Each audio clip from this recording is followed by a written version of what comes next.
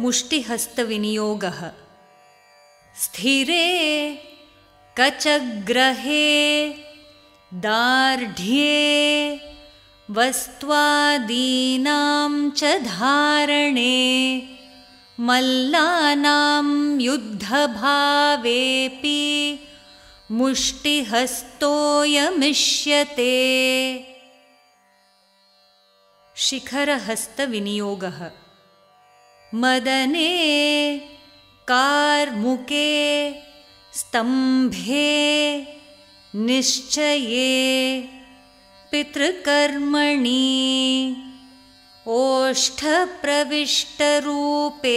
च रदने प्रश्नभावने लिङ्गे नास्तीति वचने स्मरणे अभिनयान्तिके कटिबन्धाकर्षणे च परिरम्भविधिक्रमे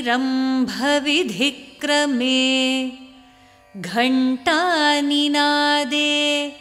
शिखरो युज्यते भरतादिभिः